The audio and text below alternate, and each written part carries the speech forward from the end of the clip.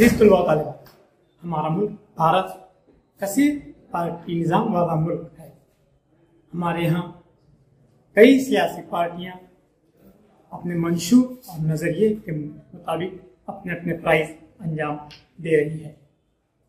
सियासी पार्टी हुकूमत और अवाम के दरमियान की एक कड़ी होती है, जो अवाम मसाइल, अवाम की शिकायत, हुकूमत तक पहुंचाती है और हुकूमत की पॉलिसियों और कामों सहूलियात को अवाम तक पहुंचाती है।